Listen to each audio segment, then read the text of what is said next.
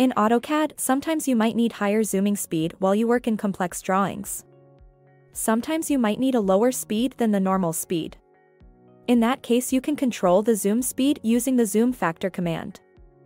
So, I'll type zoom factor in the command line and enter, the default value is set at 60, and the value can vary from 3 to 100 units. I'll give 100. Now let's see the zoom speed, using the scroll wheel I'm going to zoom the figure.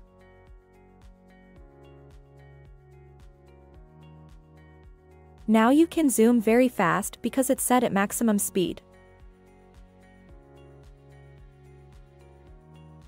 I'll go to zoom factor again and I'll bring down the value to 3.